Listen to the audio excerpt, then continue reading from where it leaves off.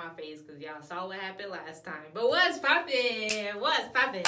What's poppin'? What's poppin'? What's hey? What's poppin'? What's poppin'? What's hey? What's up, Tiger Lily Squad gang gang?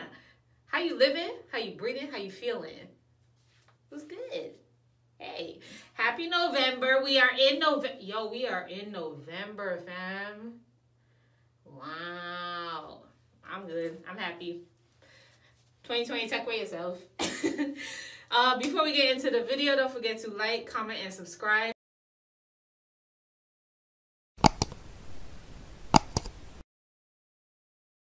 Turn on all your post notification bells. Follow me on all social media platforms at Essence of Shay. I'm trying to get this channel to 14K before 2021.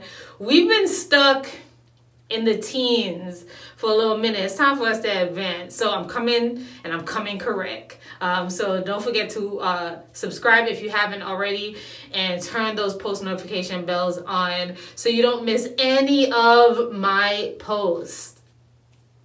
Okay, um, let's get right into the video. Hi, so in this video, I will be talking about the uh, lock stereotypes. I did a video like this a while ago. If I could find it, I'll probably repost it because it was funny. Um, but I wanted to do an upgraded one and I just finished washing my hair. If you haven't already, follow me on um, my Instagram at Essence of Shay. I did a reel showing you the product that I used. It's my peppermint revival shampoo. Uh, if you want to see how that lather, lathers up and keeps your hair fresh and clean head up head over there. So um yeah. Oh jesus oh jesus oh that thing wet wet. She wet. She wet. I'm dead.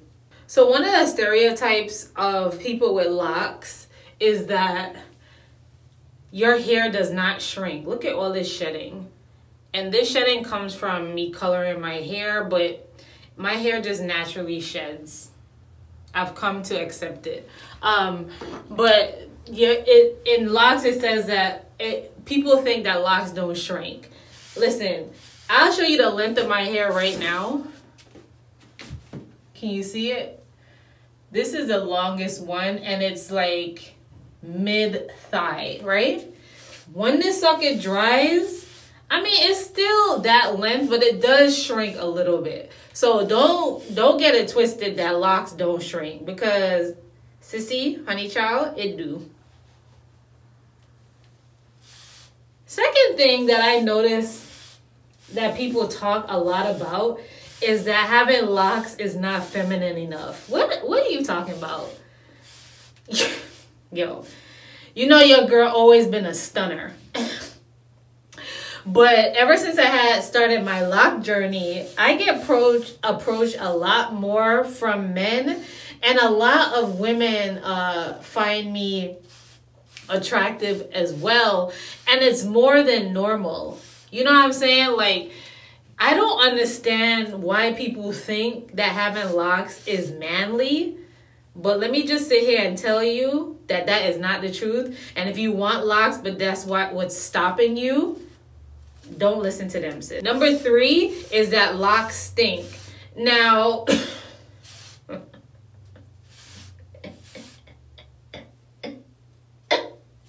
I've been around some people who locks have had a not so pleasant smell.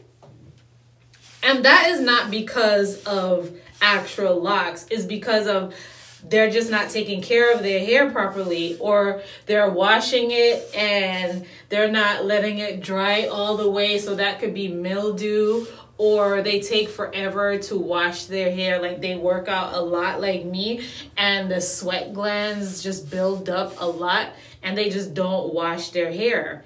That could be a situation too sis. So locks do not stink people who think that locks stink are freaking retarded. I'm sick of them. I'm sick of you. Another misconception is that you cannot wet your locks. Like you can't go in the shower and wet them. You can't go in the beach and wet them. If anything, locks thrive more when moisture hits it. Now I ain't telling you to go out there and OD like when it's raining, just run out in the rain and have fun because you're gonna get sick. Nah. And you ain't gonna blame Shay, nah. But um, you can wet your hair, especially in the beginning. I might have been one of those people who told you, like, in the beginning of your lock journey, don't wet your hair, be cautious of it. Uh, you could wet your hair, but your hair is more sensitive to unravel, so you just have to, like, be be more careful with it. But you can wet your hair, fam. Like, don't go around there not wetting your hair, not moisturizing your hair. That's crazy. Another misconception is that if you ask me how I started my lock journey, how many locks I have, what do I do to my locks, that your locks are going to turn out just like mine's. No. No. No. no. Um, I could give you advice. I could tell you what worked for me. Um, a lot of us always say what works for me is not going to work for you. It's trial and error. At the same token, do not get disappointed if you follow someone and you do what they do and your locks do not come out like theirs. You can't get mad, fam, because everybody's journey is different. Everyone's hair texture is different.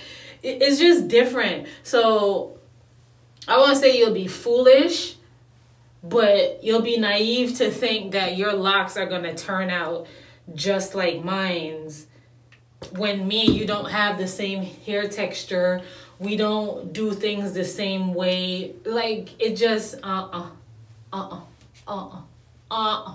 People with locks another one is that people with locks are vegans. So i love me a good chicken eh? I love me a good steak honor you honor understand? Even though in 2021 i am going to transition to pescatarian Yes, yes. Let's see if I how long I could do it. Um, but that's the goal, right? But that's farthest from the truth. Like people with locks are not all vegan, and we shouldn't be shamed for it because that's not it. That's not our ministry. Now, there's a difference between having locks and being Rasta. Now that's a whole different discussion, eh? Um, I have family that are Rasta and they just live differently, and that is different from a person with locks. Last but not least, is this not really a misconception, but it's an, an annoyance for me?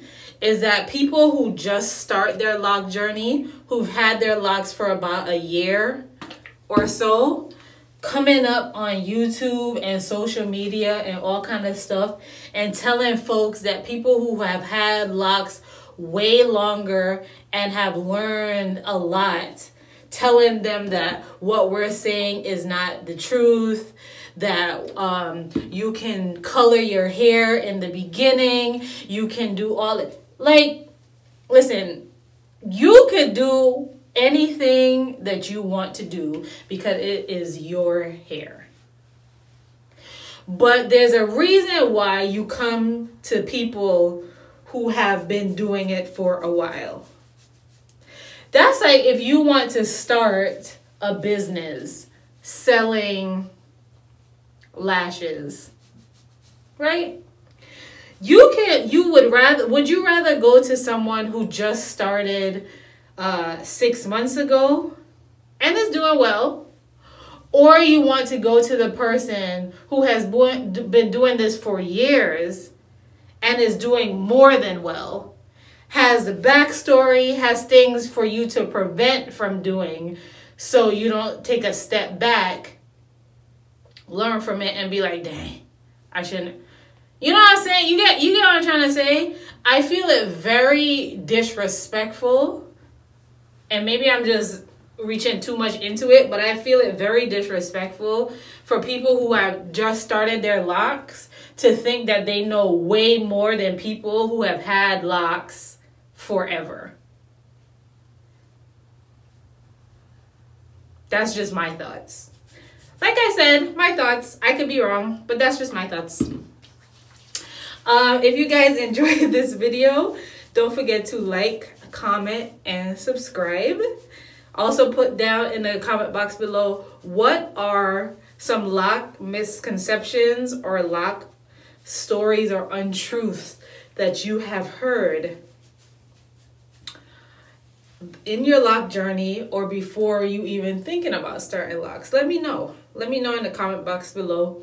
I hope you guys enjoyed this video. I love you so much for watching you later tiger lilies uh, crash course. Let me hide the money in the dashboard. Max mad could you lost the brick inside the porsche? Goofy with the